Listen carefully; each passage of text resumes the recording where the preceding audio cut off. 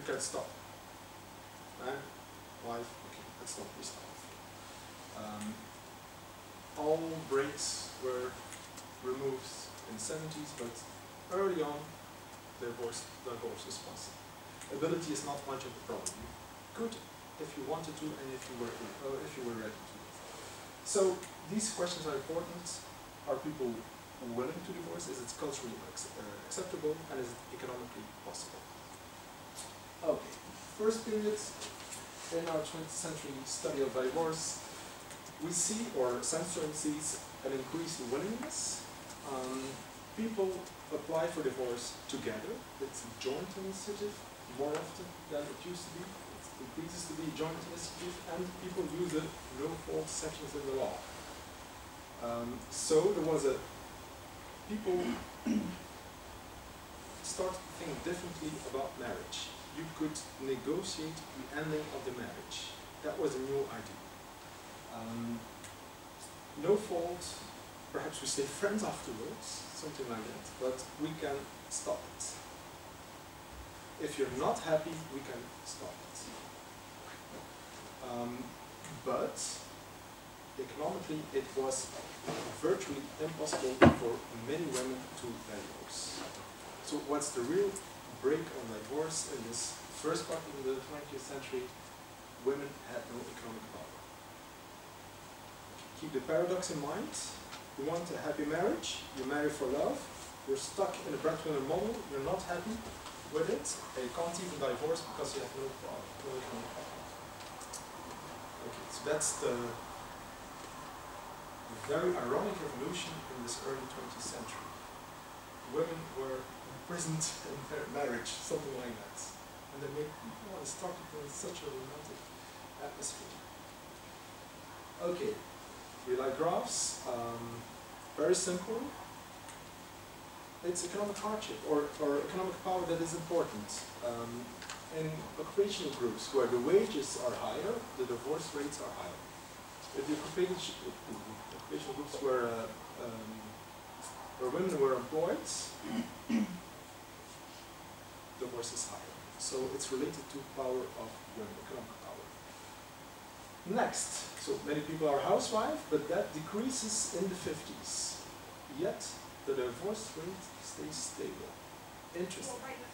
So here we have, this is preparing for the storm of the mass divorce later.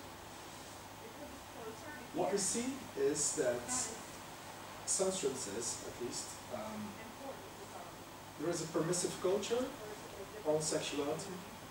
There's a new view of marriage. And we have a fast decrease of housewives. But we have as well the conservative cosplayer ideology which is still dominant. So this is this is not in line with each other. People are building up capacity to divorce, but somebody needed to push the system, need, need to bring control. So that's something that's going on.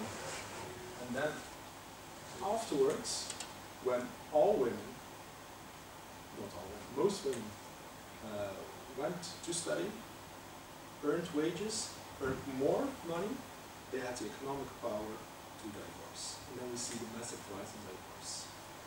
So this paradoxical situation was solved because economic power of women increased. Okay. Love marriage, power of women, that's closely connected. Okay.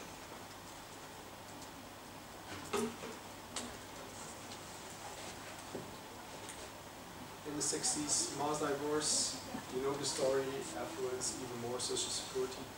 Very important. Um, the underlying assumption of, of this story of Sandstrom is that in previous times, people were not happy with their marriage but could not divorce because they had no economic power. It makes sense, but there might be more to the story. Keep that in mind. Okay. Um, just to give a, a comparison, this is the situation in Belgium in the 20th century, 20th century from 1935 onwards. We see, we see something similar. than in Sweden, but later. There are many variations on the theme, but we're, we're also a Nasdaq society, of course. Good. Next episode, 1972 now. We're still with me. The other students didn't make it, by the way. No problem.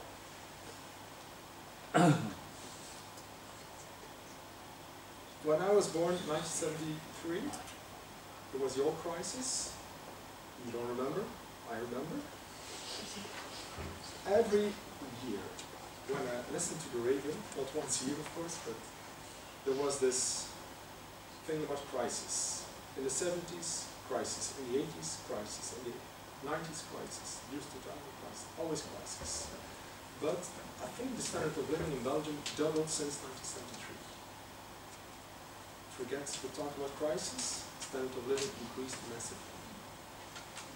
We're always richer and richer. Um, women now go to university. Yeah, you know that. uh, this actually, you, you know all this. I don't have to tell you. Interestingly, we have a post-material world now, post-material culture.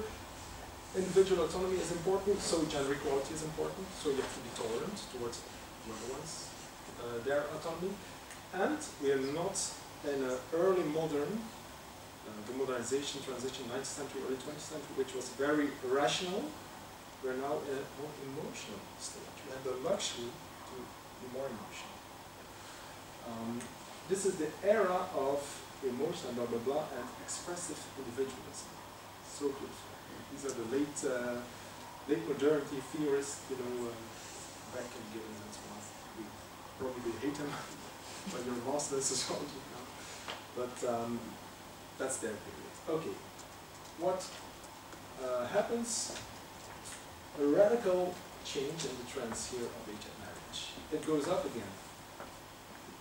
And we stop to marry actually. We, we, well, we don't stop to marry, but many people don't marry, even though they have a watch.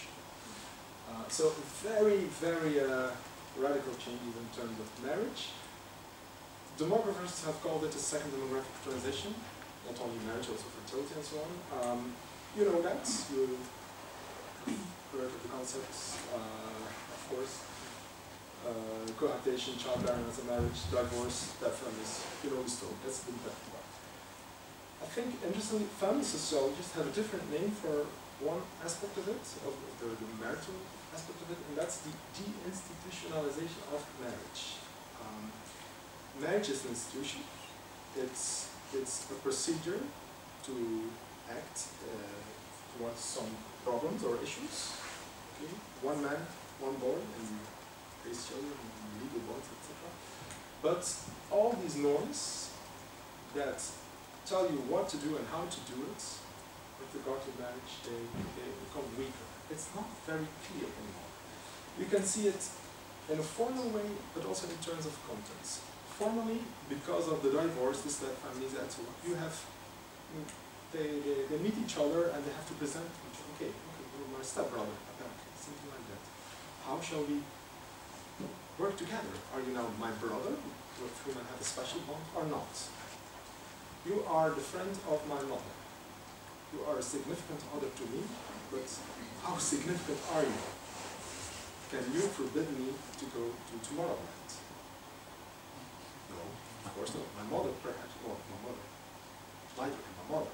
But that's, these are the issues. So we have negotiations. Always. Always and always and always. Shall we marry or not? Shall shall we live in sin, unmarried cohabitation, or we can have a legal cohabitation, something like that. Is it interesting for the fiscality of our family economy? Very difficult. Um, can we command our children?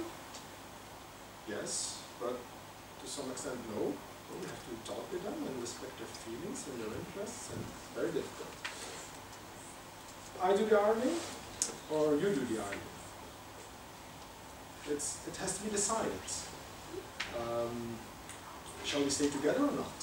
If it's not lifelong marriage, you can divorce, okay. At which point is the unhappiness strong enough to divorce. And what with the children, etc. Uh, same-sex marriages, you know, we, we, we see it everywhere and always. We have television programs how to teach us how to to deal with these children because we don't know it anymore. My father told me that he, he said, life is difficult for you.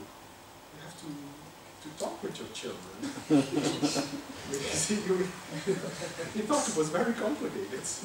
He, he loves my children when they're between zero and two, and then um, they have self-consciousness, uh, two, and then start to, to be a rebel also towards the grandparents, and then it's, it's you can have. Solve your problems yourself. In France, same-sex same sex marriage, it's, they fight in public on this topic. And so I can have you, can make thousands of slides on these topics, negotiations in the family and in the society on how to do that to marry and to live together and to raise your children. This is highly problematic. It's very difficult. It's not fixed. It's deinstitutionalization. Okay. Some consequences for marriage. Um, marriage in most diverse society is an individualized marriage. if you have all these things that have to be decided, you, you have to talk to each other. You have to negotiate all the time. I prepare you. You're young people. You, you might be aware of it, but it will only get worse. Now you don't have children, perhaps. Then the first child comes, and the second, then the third. Then you meet somebody else. And your partner meets somebody else. And it's, it's, very complicated. It's, it's extremely complicated. Um, and it's an individual, individualized marriage because you have to arrange your problems yourself as a couple, but also as an individual, because we are post-materialists. We have to realize ourselves. We have higher order needs. We want a marriage project, a partnership, partnership project. It has to be something of ourselves. We have to, have to express ourselves in a marriage. We have to have a fantastic relationship. We have to work on it with these children are there, work, career. It's very difficult. Ulrich Beck says you have a, we have a do-it-yourself biography.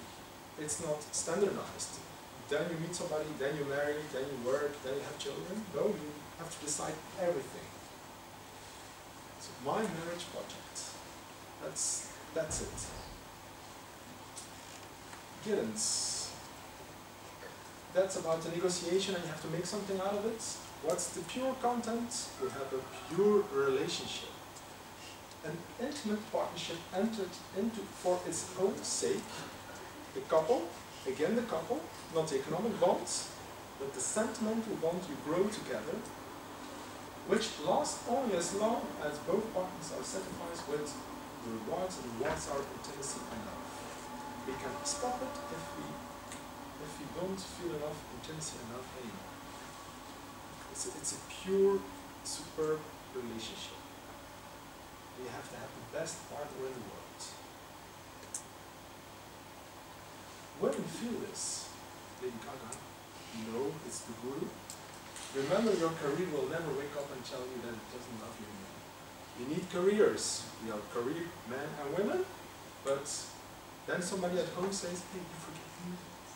Where are the intimate talks? We have problems to arrange with the children, etc. But also, we have to do something together I guess we have to use city to Barcelona for parents. Pure relationships. Nothing of, of this is biographical. I have to. you will not, you will not watch this movie. I guarantee you. Um, okay, so pure relationship for itself. And we still married. We still married. We have. This is fantastic. this is so fantastic. I'm not a member yet. I'm not married. Become a fan of your marriage at Facebook. Then you have to go at the Facebook uh, page, My Marriage.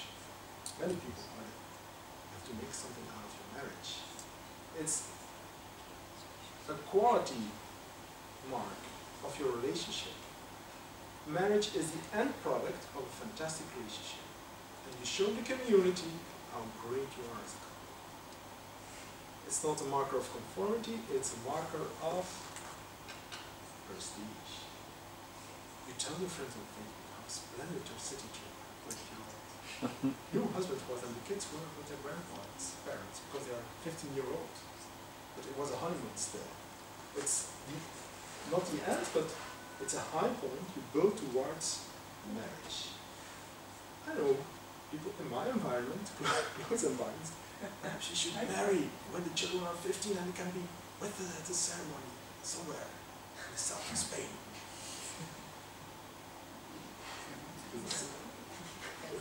okay, very interesting, I think.